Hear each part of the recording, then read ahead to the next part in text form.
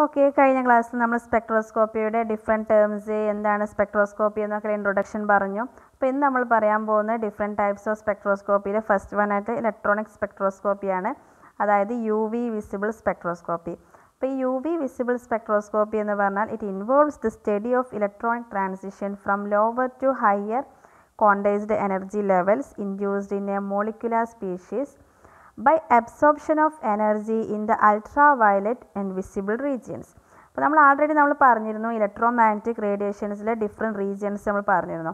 അപ്പോൾ നമ്മുടെ റേഡിയേഷൻ അതായത് ഇലക്ട്രോ മാഗ്നറ്റിക് റേഡിയേഷനിൽ അൾട്രാ വയലറ്റ് വിസിബിൾ റീജിയനിലുള്ള റേഡിയേഷൻ ആ ഒരു എനർജി റേഡിയേഷൻ വന്നു കഴിഞ്ഞാൽ അത് അബ്സോർബ് ചെയ്തിട്ട് നമ്മുടെ മോളിക്കുലാർ സ്പീഷീസിന് ലോവർ എനർജി സ്റ്റേറ്റിൽ നിന്നും ഹയർ എനർജി ലെവലിലേക്ക് നമ്മുടെ ഇലക്ട്രോണിക് ട്രാൻസിഷൻ നടക്കുന്നു. എന്നിട്ട് അതിന്റെ സ്റ്റഡീസ് അതിന്റെ എല്ലാ മൊളിക്കുലർ സ്ട്രക്ചർ ഐഡന്റിഫൈ ചെയ്യാനൊക്കെ നമ്മൾ ഇലക്ട്രോണിക് സ്പെക്ട്രോസ്കോപ്പിയിൽ കാണുന്നുണ്ട്. അപ്പോൾ നമ്മുടെ ഇലക്ട്രോണിക് സ്പെക്ട്രോസ്കോപ്പിയിൽ നമ്മുടെ മെയിനായിട്ട് യു വി വിസിബിൾ റീജിയനിലുള്ള റേഡിയേഷൻ വേണം. അപ്പോൾ ആ ഒരു റേഡിയേഷൻ അബ്സോർബ് ചെയ്തിട്ട് നമ്മുടെ ഇലക്ട്രോണിക് ട്രാൻസിഷൻ നടക്കുന്നു.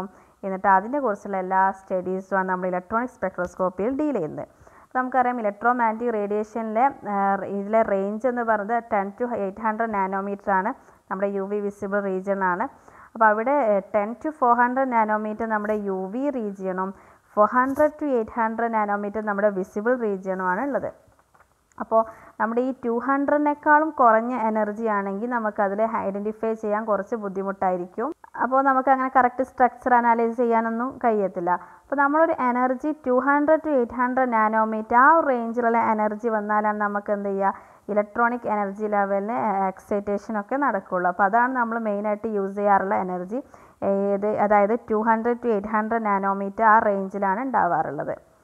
അപ്പോൾ അത് ടു ഹൺഡ്രഡ് എന്ന് പറയുമ്പോൾ നിയർ യു വി റീജിയണും വിസിബിൾ റീജിയണും ആ റീജിയണിലാണ് നമ്മുടെ ഈ എനർജി ഉണ്ടാവേണ്ടതെങ്കിൽ അത് നമുക്ക് ഇലക്ട്രോണിക് സ്പെക്ട്രോസ്കോപ്പി നമുക്ക് കാണിക്കുള്ളൂ കിട്ടുള്ളൂ.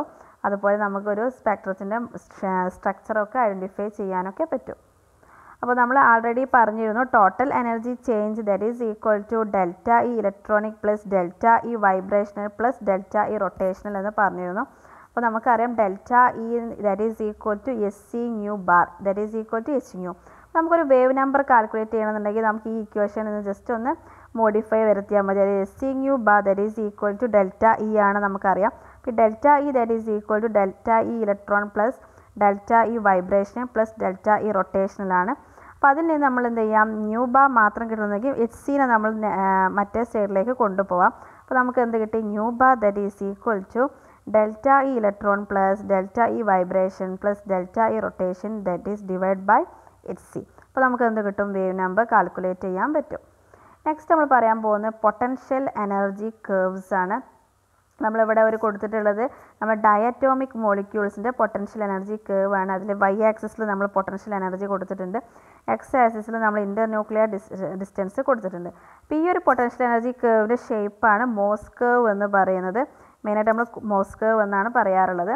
അപ്പോൾ ഇവിടെ നിങ്ങൾ കാണാം ഒരു ഇലക്ട്രോണിക് എനർജി ലെവൽസിൽ നിന്ന് അതിൽ തന്നെ എന്തുണ്ട്? വൈബ്രേഷൻ എനർജി ലെവൽസ് ഡിഫറെന്റ് ആയിട്ടുണ്ട്.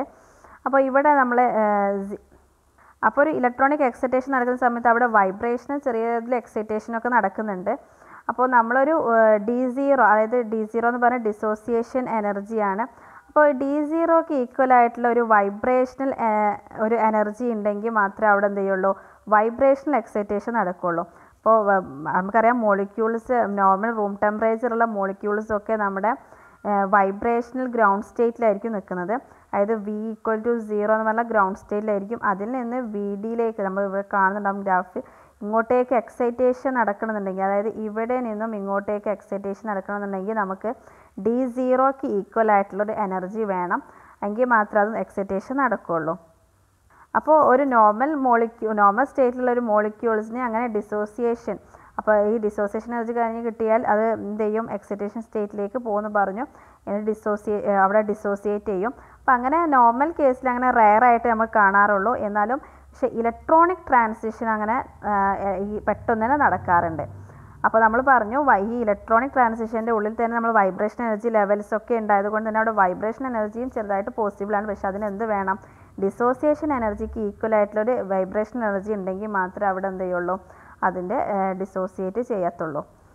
അപ്പോൾ ഓക്കെ ഇതാണ് നമ്മൾ പൊട്ടൻഷ്യൽ എനർജി കേവ് എന്ന് പറഞ്ഞത്. ഇതിൽ പറഞ്ഞിട്ടുള്ളത് നമ്മൾ പറഞ്ഞു most molecules are at vibrational con ground state at room temperature അപ്പോൾ നമ്മൾ പറഞ്ഞു ഡി സീറോക്ക് ഈക്വൽ ആയിട്ടുള്ള എനർജി ഉണ്ടെങ്കിൽ മാത്രമേ അത് നടക്കുകയുള്ളൂ എന്ന് പറഞ്ഞു. അപ്പോൾ ഓരോ ഇലക്ട്രോണിക് സ്റ്റേജിനും അതിന്റേതായിട്ടുള്ള പൊട്ടൻഷ്യൽ എനർജി കേവ് ഉണ്ടാവും. ഇപ്പോൾ ഇവിടെ നമ്മൾ കൊടുത്തിട്ടുള്ള ഗ്രാഫിൽ നമ്മൾ ഫസ്റ്റ് അതായത് ഒരു ഇലക്ട്രോണിക് സ്റ്റേറ്റിലുള്ള പൊട്ടൻഷ്യൽ എനർജി കേവ് ആണ്. ഇനി അതേപോലെ എക്സൈറ്റഡ് സ്റ്റേറ്റ് എത്തുമ്പോൾ അതിന്റെ എനർജി കേവ് വീണ്ടും മാറും. അപ്പോൾ ഇവിടെ നമ്മളൊരു ഇലക്ട്രോണിക് സ്റ്റേറ്റ് നിങ്ങൾ നോക്കി അറിയാൻ പറ്റും. ഇവിടെ ഇതൊരു ഇലക്ട്രോണിക് സ്റ്റേറ്റ് ആണ്. ഇത് അടുത്തൊരു ഇലക്ട്രോണിക് സ്റ്റേറ്റ്സ് ആണ്. അപ്പോൾ ഇത് രണ്ടിലും പൊട്ടൻഷ്യൽ എനർജി എന്ത് ചെയ്യുന്നുണ്ട്? ഡിഫറെന്റ് ആണ്. അപ്പോൾ അതേപോലെ നമുക്ക് നോക്കി അറിയാൻ പറ്റും. Minimum of higher curve is at larger inter nucleus distance than that for a lower curve അപ്പോൾ ഇതൊരു കേവാണ് അതേപോലെ തന്നെ ഇത് വേറൊരു കേവാണ് അപ്പോൾ ഇതിലെ ഹയർ കേവിലെ minimum minimum internuclear distance എന്ന് പറയുന്നത് നമ്മുടെ ലോവർ കേവിനേക്കാളും കൂടുതലാണ്. അപ്പോൾ നോക്കി അറിയാൻ പറ്റും ഇവിടെ ഇതിന്റെ മിനി ഹയർ കേവിന്റെ മിനിമം എന്ന് പറഞ്ഞാൽ ഇവിടെയാണ്. ഇന്റർ ന്യൂക്ലിയർ ഡിസ്റ്റൻസ് എന്ന് പറഞ്ഞാൽ ഏറ്റവും മിനിമം എന്ന് പറഞ്ഞത് ഇവിടെയാണ്. അതായത് ഏകദേശം ഈ ഭാഗത്താണ്. അപ്പോൾ ഇത് നോക്കുകയാണെങ്കിൽ നമുക്കറിയാം ലോവർ കേവിനേക്കാൾ ലോവർ കേവിന്റെ ഇന്റർ ന്യൂക്ലിയർ ഡിസ്റ്റൻസിനേക്കാളും കുറവ് കുറവാണ്. സോറി കൂടുതലാണ്. അപ്പോൾ ആ ഗ്രാഫ് നോക്കി അറിയാൻ പറ്റും. ഇതിന്റെ ഈ ഒരു ഇതിനേക്കാളും കുറച്ച് ഷിഫ്റ്റ് ചെയ്ത് ഇങ്ങോട്ടേക്കാണ് നമ്മുടെ ഇലക്ട്രോണിക് എനർജി നിൽക്കുന്നത്. സോറി ഇലക്ട്രോണിക് സ്റ്റേറ്റ് നിൽക്കുന്നത്. അപ്പോൾ നമുക്ക് അങ്ങനെ പറയാൻ പറ്റും. Minimum of higher curve is at larger internuclear distance than for a lower curve അതേപോലെ ഡിസോസിയേഷൻ എനർജി നോക്കുകയാണെങ്കിൽ നമുക്കറിയാം ലോവർ കേവിന്റെ ഡിസോസിയേഷൻ എനർജി ആയിരിക്കും കൂടുതൽ. നമ്മുടെ ഹയർ കേവിനേക്കാളും ഡിസോസിയേഷൻ എനർജി കുറവായിരിക്കും ഹയർ കേവിന് ആ ഡിസ്റ്റൻസ് നോക്കിയാൽ തന്നെ അറിയാൻ പറ്റും. ഈ D zero dash is less than D zero double dash next നമ്മൾ ഈ ഒരു ഇതിന്റെ പ്രിൻസിപ്പിൾ പറയാൻ പോവാണ്. നമുക്കറിയാം മോളിക്യൂൾസിന് N A pi sigma electrons അതായത് മോളിക്യൂൾസിന് നമുക്കറിയാം ഒന്നോ ഒന്നിൽ കൂടുതൽ ടൈപ്പ് മോളിക്കുലർ ഓബിറ്റൽസ് ഉണ്ടാവും.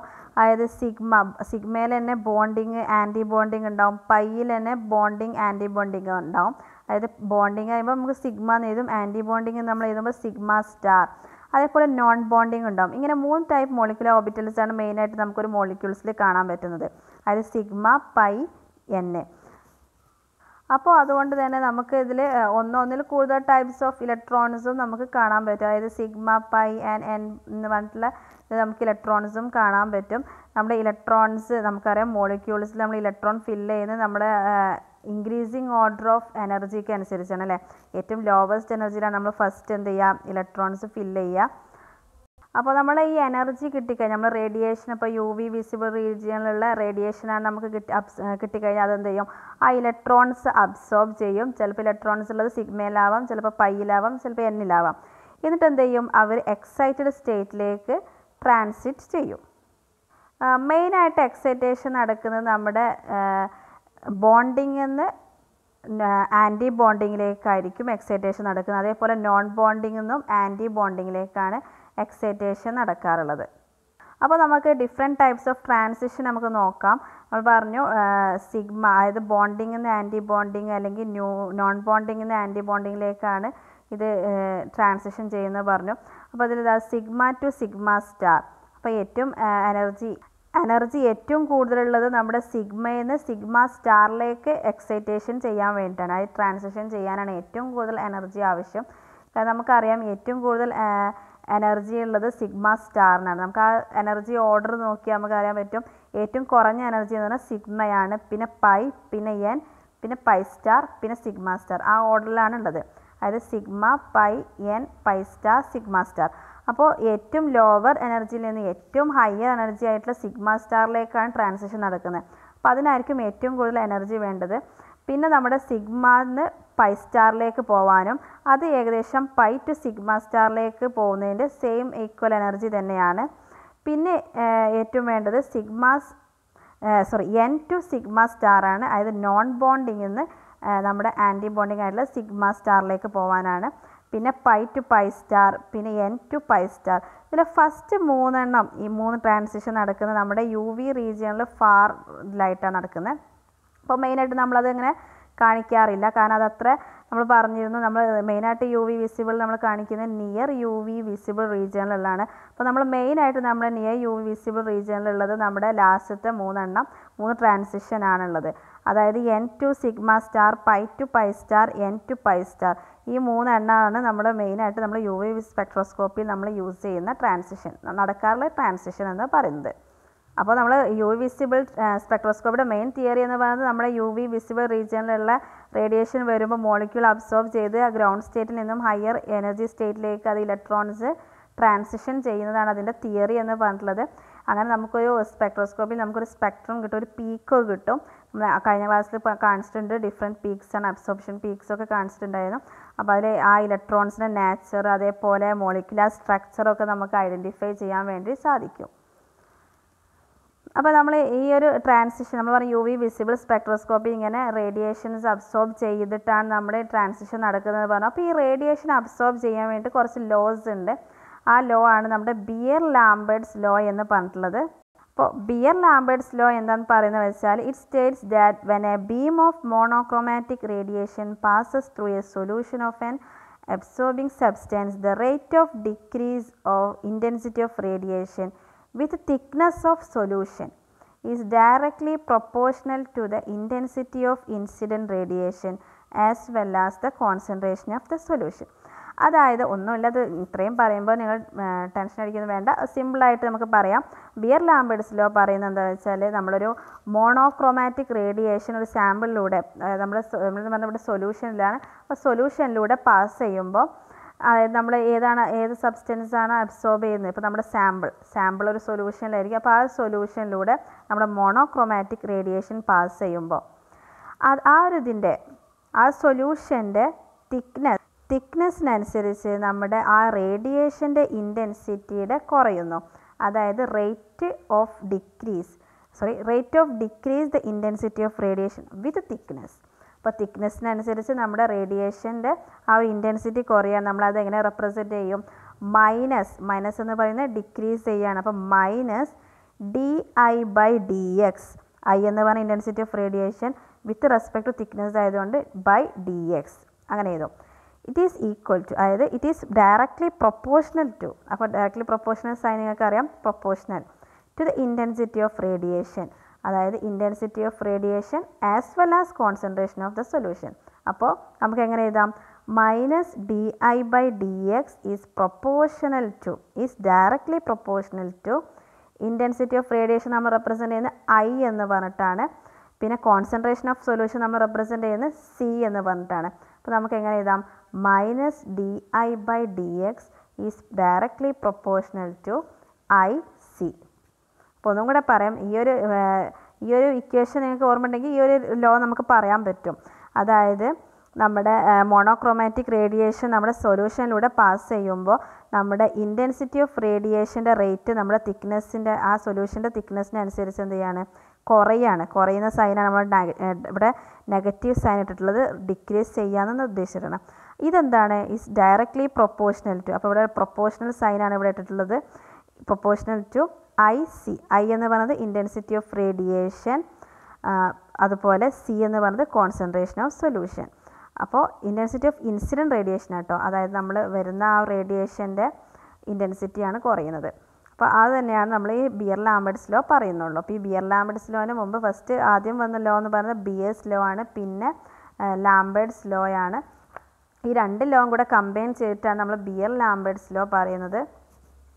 അപ്പോൾ നമുക്ക് സിമ്പിളായിട്ട് നമുക്ക് എന്ത് പറയാം? ബിയർ ലാംബേർഡ്സ് ലോ എന്ന് പറഞ്ഞാൽ നമുക്ക് എന്ത് പറയാം? ഡയറക്ട്ലി അതായത് absorbance of a solution is directly proportional to the concentration of absorbing species in the solution and the path length എന്ന് പറയാൻ പറ്റും. അപ്പോൾ നമ്മളത് എത്തുന്നുണ്ട്. നമ്മൾ ആ ഒരു ഇക്വേഷനിലേക്ക് നമ്മൾ ഡിറൈവ് ചെയ്ത് വരും. ഇവിടെ നമ്മൾ പറഞ്ഞു minus D I by D X is proportional to I C എന്ന് പറഞ്ഞു. ഇത് പ്രൊപ്പോർഷണൽ സൈനാണ് അതിവിടെ നിങ്ങൾ കാണുന്നുണ്ടാവും. പ്രൊപ്പോർഷണൽ സൈനായിട്ടാണ് അവിടെ ഉദ്ദേശിച്ചത്. ഐ എന്ന് പറഞ്ഞാൽ നമുക്കറിയാം ഇന്റൻസിറ്റി ഓഫ് റേഡിയേഷൻ ആണ്. അതായത് ഇൻസിഡന്റ് റേഡിയേഷൻ ആണ്. സി എന്ന് പറഞ്ഞാൽ മോളാർ കോൺസെൻട്രേഷൻ ഓഫ് സൊല്യൂഷൻ ആണ്. അപ്പോൾ നമ്മൾ നേരത്തെ പറഞ്ഞു minus D I by D X ആ പ്രൊപ്പോഷണൽ സൈൻ മാറ്റാൻ വേണ്ടി നമ്മളൊരു കോൺസ്റ്റന്റ് കൊടുക്കുന്നു. അതാണ് കെ അപ്പോൾ ഇവിടെ നമ്മൾ എന്ത് ചെയ്തു? Minus D I by D X that is equal to K I C എന്ന് വന്നു. അപ്പോൾ ഇവിടെ നമ്മൾ minus D I by D എക്സിൽ ഈ നെഗറ്റീവ് സൈൻ നമ്മൾ അപ്പുറം സൈഡിലേക്ക് കൊണ്ടുവരികയാണ്. നമുക്ക് എന്ത് കിട്ടി? D I by D X that is equal to minus K I C എന്ന് വന്നു. ഇവിടെ കെ എന്ന് പറഞ്ഞാൽ നമ്മൾ പറഞ്ഞു കോൺസ്റ്റന്റ് ആണ്. അത് എന്താ റേഡിയേഷന്റെയും മീഡിയത്തിനും ഓരോ ക്യാരക്ടറിസ്റ്റിക് കോൺസ്റ്റന്റ് ആണുള്ളത്. അപ്പോൾ നമുക്ക് ഇതൊന്ന് റീഅറേഞ്ച് ചെയ്യാം. ഈ ഇക്വേഷൻ നമ്മളൊന്ന് റീഅറേഞ്ച് ചെയ്തിട്ടുള്ളതാണ്. D I by D I അതായത് ഐയിനെ നമ്മൾ ഒരു സൈഡിലേക്ക് കൊണ്ടുവരാണ്. കെ ഐ സിയിലെ ഐയിനെ നമ്മൾ ഒരു സൈഡിലേക്ക് കൊണ്ടുവന്നു. എന്നിട്ട് എന്ത് വന്നു? D I by I that is equal to minus K C D X എന്ന് വന്നു. ഇനി നമ്മൾ ഈ ഇക്വേഷൻ ത്രീയിലേക്ക് നമ്മൾ ലിമിറ്റ്സ് കൊടുക്കുകയാണ്. അതായത് ഇൻസിഡന്റ് ഇന്റൻസിറ്റിയും അതുപോലെ എമർജന്റ് ഇന്റൻസിറ്റിയും നമ്മൾ എന്ത് ചെയ്യാണ്? വെച്ചിട്ട് നമ്മളൊരു ലിമിറ്റ് കൊടുക്കുകയാണ്. അതായത് ഇന്റഗ്രേഷൻ ചെയ്യാണ് നമ്മൾ. ഇന്റഗ്രേഷൻ ചെയ്യുമ്പോൾ നമ്മൾ ലിമിറ്റ് കൊടുക്കുന്നുണ്ട്. അപ്പോൾ നമ്മൾ ഐ സീറോ എന്ന് പറഞ്ഞത് ഇൻസ് ഇൻസിഡന്റ് ഇന്റൻസിറ്റിയും ഐ എക്സ് എന്ന് പറഞ്ഞത് എമർജന്റ് ഇന്റൻസിറ്റിയാണ് അപ്പോൾ നമ്മളിവിടെ ഒരു തിക്നെസ് പറഞ്ഞ മീഡിയത്തിന്റെ തിക്നെസ് അതെന്ത് ചെയ്യുന്നുണ്ട്? നമ്മൾ ആ പാസ് ചെയ്യുമ്പോൾ തിക്നെസ്സും കുറയുന്നുണ്ടല്ലോ. അപ്പോൾ സീറോയിൽ നിന്നും എക്സിലേക്കാണ് പോകുന്നത്. അപ്പോൾ ഇവിടെ തിക്നെസ്സിന് ലിമിറ്റ് കൊടുക്കുന്നത് നമ്മൾ സീറോ ഇൻസ് ഫസ്റ്റ് ഇനീഷ്യലും ഫൈനലായിട്ട് നമ്മൾ എക്സും കൊടുക്കുകയാണ്. അപ്പോൾ നമുക്കിവിടെ ഇക്വേഷൻ ഫോർ കിട്ടി. നമ്മൾ ജസ്റ്റ് ലിമിറ്റ് കൊടുത്തതാണത്. ഇന്റഗ്രേഷൻ ചെയ്തപ്പോൾ നമുക്കറിയാം ഡി ഐ ബൈ ഐ എന്ന് പറഞ്ഞാൽ ലോഗ് ഐ ആണ്. അപ്പോൾ നമ്മൾ അതിന്റെ ആ വാല്യൂസ് കൊടുക്കുമ്പോൾ നമുക്ക് അതായത് ഇനീഷ്യൽ ഫൈനൽ കൊടുക്കുമ്പോൾ നമുക്കറിയാം ഫൈനൽ മൈനസ് ഇനീഷ്യലാണ് അപ്പോൾ log I X minus log I zero എന്നാണ് വരേണ്ടത്. അപ്പോൾ നമ്മൾ എന്ത് ചെയ്തു? അത് നമുക്ക് ഇങ്ങനെയും എഴുതാം. Log n I X by I zero that is equal to ഈ ഡി എക്സിനെ നമ്മൾ ഇന്റഗ്രേഷൻ ചെയ്യുമ്പോൾ നമുക്കറിയാം എക്സ് ആണ് കിട്ടുക. അപ്പോൾ നമുക്കറിയാം എക്സ് ആണ് ഇനീഷ്യലായിട്ടുള്ള സീറോയുമാണ് അപ്പോൾ സീറോ നമുക്ക് കൊടുക്കേണ്ട ആവശ്യമില്ല. നമുക്ക് എക്സ് എന്ന് സിമ്പിളായിട്ട് ഇട്ടാൽ മതി. അപ്പോൾ മൈനസ് കെ സി എക്സ് എന്ന് വന്നു. ഇനി ഇത് നമുക്കൊന്ന് ജസ്റ്റ് ഒന്ന് റീഅറേഞ്ച് ചെയ്യാം. ഇത് ലോഗൻ വെച്ചിട്ടുള്ളതാണ് നമ്മൾ എഴുതിയത്. അപ്പോൾ ലോഗ് എന്നാക്കുമ്പോൾ നമുക്കറിയാം two point three nought three വേണം. അപ്പോൾ ഇവിടെ നമ്മൾ ലോഗനെ two point three nought three log n I X by I zero ആണ് വരുന്നത്. Equal to minus K six ഇതിൽ two point three nought three നമ്മൾ ഈ സൈഡിലേക്ക് അപ്പുറം സൈഡിലേക്ക് കൊണ്ടുവരുന്നതുകൊണ്ടാണ് ഇവിടെ ഡിനോമിനേറ്ററിൽ two point three nought three വന്നത്. അപ്പോൾ നമുക്ക് എങ്ങനെ എഴുതാം? Log I X by I zero that is equal to minus K two പോ by two point three nought three C X എന്ന് വന്നു. ഇത് നമ്മൾ എന്ത് ചെയ്യാണ്? നമുക്ക് ഈ നെഗറ്റീവ് സൈൻ ഒന്ന് ഒഴിവാക്കണം. അപ്പോൾ അതിന് വേണ്ടിയിട്ട് നമുക്ക് എന്ത് ചെയ്താൽ മതി? ഈ log I X by I സീറോയിലെ ഈ ഐ എക്സിനെ ഡിനോമിനേറ്ററിലേക്കും ഐ സീറോനെ ന്യൂമറേറ്ററിലേക്കും നമ്മൾ കൊണ്ടുവരാം. ഒന്ന് ജസ്റ്റ് ഒന്ന് റീഅറേഞ്ച് ചെയ്യാം. അപ്പോൾ നമുക്ക് എന്ത് ചെയ്യും? ഈ നെഗറ്റീവ് സൈൻ നമുക്ക് ഒഴിവാക്കാം. അങ്ങനെ നമുക്ക് എന്ത് കിട്ടി? Log I zero by I X that is equal to K by two point three nought three C X എന്ന് കിട്ടി. അപ്പോൾ ഈ ഇക്വേഷൻസ് നിങ്ങൾക്ക് വേണം നിങ്ങൾക്ക് പ്രോബ്ലം ചെയ്യാനുണ്ടാവും. അപ്പോൾ അതിന് ഇക്വേഷൻസ് ഒക്കെ പഠിക്കണം. അപ്പോൾ നമ്മൾ ഈ ഒരു ഇക്വേഷൻ നമുക്ക് ജസ്റ്റ് ഒന്ന് റീഅറേഞ്ച് ചെയ്യാണ്. ഈ K by two point three nought three നമ്മളൊരു കോൺസ്റ്റന്റ് കൊണ്ട് കോൺസ്റ്റന്റ് ആയിട്ട് സബ്സ്റ്റിറ്റ്യൂട്ട് ചെയ്യുക അതായത് എപ്സലോൺ എന്ന് പറയുന്ന ഒരു കോൺസ്റ്റന്റ് ആക്കി കൊടുക്കുകയാണ് അപ്പോൾ ആ K by two point three nought three നമ്മൾ എപ്സിലോൺ പറഞ്ഞു കൊടുത്തു. അതിന്റെ പേരാണ് മോളാർ എബ്സോർപ്ഷൻ കോഫീഷ്യൻ അല്ലെങ്കിൽ മോളാർ എക്സ്റ്റൻഷൻ കോഫീഷ്യന്റ് എന്ന് പറയും. ഇത് മെയിനായിട്ട് നമ്മൾ എക്സ്പ്രസ് ചെയ്യുന്നത് ഒരു കോൺസ്റ്റന്റ് ആയിട്ടാണ് നിൽക്കുന്നത്. അപ്പോൾ അതേപോലെ നമ്മൾ ഈ എപ്സലോൺ എന്താണ്? നമ്മൾ പറഞ്ഞു മൊളാക്സേഷൻ കോഫിഷ്യൻ മൊള അബ്സോർപ്ഷൻ കോഫിഷ്യന്റ് ആണ്. അപ്പോൾ നമുക്ക് എന്ത് ചെയ്യാം? ജസ്റ്റ് ഒന്ന് റീഅറേഞ്ച് ചെയ്ത് എഴുതാം. ആ ഇക്വേഷൻ എയ്റ്റ് നമുക്കൊന്ന് ജസ്റ്റ് ഒന്ന് റീഅറേഞ്ച് ചെയ്യാം. A equal to epsilon C X അപ്പോൾ എ എന്താണ് ഡൗട്ട് എ എന്ന് പറഞ്ഞാൽ അബ്സോർബൻസ് ആണ്. അതായത് log I zero by I X എന്ന് പറഞ്ഞാൽ അബ്സോർബൻസ് ആണ്. അല്ലെങ്കിൽ ഒപ്റ്റിക്കൽ ഡെൻസിറ്റി എന്നും പറയും. അപ്പോൾ A equal to epsilon C X ആയിട്ട് നമുക്ക് ജസ്റ്റ് ഒന്ന് റീഅറേഞ്ച് ചെയ്ത് എഴുതാൻ പറ്റും. എട്ടാമത്തെ ഇക്വേഷൻ നമുക്ക് ജസ്റ്റ് ഒന്ന് റീഅറേഞ്ച് ചെയ്യാം. അപ്പോൾ അപ്പോൾ നമുക്ക് എബ്സലോ അബ്സോർബൻസ് ആണ്. ഒരു റേഡിയേഷൻ എത്ര അബ്സോർബ് ചെയ്തു എന്നാണ് നമുക്ക് കാൽക്കുലേറ്റ് ചെയ്യേണ്ടതെന്നുണ്ടെങ്കിൽ നമുക്ക് എന്ത് ചെയ്താൽ മതി ഈ ഇക്വേഷൻ കൊടുത്താൽ മതി. അബ്സോർബൻസ് അത് A equal to epsilon C X എന്നുള്ള ഇക്വേഷനാണ് എപ്സലോ എന്ന് പറഞ്ഞാൽ K by two point three nought three ആണ്. സി നമുക്കറിയാം സൊല്യൂഷന്റെ കോൺസെൻട്രേഷൻ ആണ്. അത് മെയിനായിട്ട് മോൾ പെർ ലിറ്ററിലാണ് എക്സ്പ്രസ് ചെയ്യാറ്. എക്സ് എന്ന് പറഞ്ഞാൽ തിക്നെസ് ആണ് ആ സൊല്യൂഷന്റെ തിക്നെസ് ആണ്. അപ്പോൾ അവിടെ അത് സെന്റിമീറ്ററിലായിരിക്കും എക്സ്പ്രസ് ചെയ്യാറ്. ഇവിടെ എന്താണ് അബ്സോർബൻസ് ആണെന്നുണ്ടെങ്കിൽ നമുക്കറിയാം log I zero by I X ആണ്. അതായത് ഐ സീറോ എന്ന് പറഞ്ഞാൽ ഇന്റൻസിറ്റി റേഡി ഇൻസിഡന്റ് റേഡിയേഷനും ഐ എക്സ് എന്ന് പറഞ്ഞാൽ എമർജന്റ് റേഡിയേഷന്റെ ഇന്റൻസിറ്റിയും അങ്ങനെയാണുള്ളത്. അപ്പോൾ നമുക്ക് നമ്മൾ പറഞ്ഞ എബ്സോബൻസ് കാണാനുള്ള ഇക്വേഷൻ എന്ന് പറഞ്ഞാൽ ഒന്നെങ്കിൽ നമുക്ക് എ ടു എപ്സിലോൺ സി എക്സിൽ കൊടുക്കാം. അല്ലെങ്കിൽ നമുക്ക് log I zero by I X എന്ന് പറഞ്ഞാൽ സിമ്പിളായിട്ട് ഇക്വേഷൻ കൊടുത്താൽ നമുക്ക് കാൽക്കുലേറ്റ് ചെയ്യാൻ പറ്റും. അപ്പോൾ നമുക്ക് ആ ഇക്വേഷൻ നമുക്ക് ഇക്വേഷൻ നയന് ജസ്റ്റ് ഒന്ന് നമുക്ക് റീഅറേഞ്ച് ചെയ്ത് അല്ലെങ്കിൽ ഇക്വേഷൻ നയൻ വേണ്ട. നമുക്ക് ഇക്വേഷൻ എയ്റ്റ് ജസ്റ്റ് ഒന്ന് റീഅറേഞ്ച് ചെയ്ത് നമുക്ക് ഈ എപ്സിലോ അതായത് മോള അബ്സോർപ്ഷൻ കോഫിഷ്യന്റെ വാല്യൂ കാൽക്കുലേറ്റ് ചെയ്യാൻ പറഞ്ഞിട്ടുണ്ടെങ്കിൽ നമുക്ക് കാണാം. അതായത് ഈ epsilon that is equal to ഈ എട്ടാമത്തെ ഇക്വേഷൻ നമ്മളൊന്ന് റീഅറേഞ്ച് ചെയ്യാണ്. അതായത് epsilon that is equal to one by C X log I zero by I X നമുക്ക് ഇക്വേഷൻ ടെണ്ണ് നോക്കി അറിയാൻ പറ്റും. നമ്മൾ എട്ടാമത്തെ ഇക്വേഷൻ ഒന്ന് റീഅറേഞ്ച് ചെയ്ത് വെച്ചതാണത്. Epsilon equal to one by C X into log I zero by I X ഇപ്പോൾ ഇതിൽ ഐ എക്സ് അതായത് എമേർജന്റ് ഇന്റൻസിറ്റി എമേർജന്റ് റേഡിയേഷന്റെ ഇന്റൻസിറ്റി നമ്മുടെ ഇൻസിഡന്റ് ഇന്റൻസിറ്റിയുടെ വൺ ബൈ ടെൻ ആണെങ്കിൽ അതേപോലെ സി കോൺസെൻട്രേഷൻ വൺ ആണെങ്കിൽ നമ്മുടെ എപ്സലോൺ എന്താ? അതായത് മോൾ അബ്സോർപ്ഷൻ കോഫിഷ്യന്റ് എന്തായിരിക്കും? വൺ ബൈ എക്സ് ആയിരിക്കും. അതായത് തിക്നെസ്സിന്റെ ഇൻവേഴ്സ്ലി പ്രൊപ്പോർഷൻ അതായത് തിക്നെസ്സിന്റെ റെസിപ്രോക്കൽ ആയിരിക്കും നമ്മുടെ എന്ത്? എപ്സ് മോൾ അബ്സോർപ്ഷൻ കോഫിഷ്യന്റ് എന്ന് പറഞ്ഞാൽ. അതായത് ഒന്നും കൂടെ പറയാം. നമ്മുടെ എട്ടാമത്തെ ഇക്വേഷനിൽ നിന്ന് നമുക്ക് പത്താമത്തെ ഇക്വേഷൻ നമ്മൾ റീഅറേഞ്ച് ചെയ്ത് എഴുതിയെന്ന് പറഞ്ഞു. അതിലെ കോൺസെൻട്രേഷൻ വൺ ആക്കി വൺ ആണെങ്കിൽ അതേപോലെ നമ്മുടെ ഇന്റൻസിറ്റി ഇൻസിഡന്റ് ഇന്റൻസിറ്റി നമ്മൾ ഐ സീറോ എന്ന് കൊടുക്കുക. എമർജൻ റേഡിയേഷന്റെ ഇന്റൻസിറ്റി എന്ന് പറയുന്നത് നമ്മൾ ഇൻസിഡന്റ് ഇന്റൻസിറ്റിയുടെ വൺ ബൈ ടെൻ ആണെങ്കിൽ അപ്പോൾ എന്തായിരിക്കും? I X equal to one by ten of I zero എന്ന് കൊടുക്കാം അല്ലേ അപ്പോൾ നമുക്കറിയാം വൺ ബൈ ടെൻ നമ്മൾ ഈ ഇക്വേഷനിൽ വൺ ബൈ ടെൻ ഈ ഐ എക്സിന്റെ സ്ഥാനത്ത് one by ten I zero എന്ന് കൊടുത്ത് I zero I zero cancel ചെയ്ത് പോകും പിന്നെ നമ്മൾ എന്ത് വരും? ടെൻ എന്ന് വരും. ടെൻ എന്ന് ലോഗ് ടെൻ എന്ന് പറഞ്ഞാൽ നമുക്കറിയാം ഇറ്റ്സ് എ വൺ ആണ്. ലോഗ് ടെൻ എന്ന് പറഞ്ഞാൽ വൺ ആണ്. അപ്പം എന്ത് ചെയ്യും? ഈ ഒരു log I zero by I X ആയത് ലോഗ് ടെൻ ഉള്ളത് വൺ ആയി പോയി. പിന്നെ സി എന്ന് പറഞ്ഞാൽ നമ്മൾ പറഞ്ഞു വൺ ആണെന്ന് പറഞ്ഞു. അപ്പോൾ എന്ത് കിട്ടും? Epsilon that is equal to one by X എന്ന് കിട്ടും. അപ്പോൾ നമുക്ക് ജസ്റ്റ് ഒന്ന് ഡിഫൈൻ ചെയ്യാം. Molar absorption coefficient is defined as the reciprocal of thickness of a one molar solution അതായത് concentration is equal to one എന്നാണ് അർത്ഥം.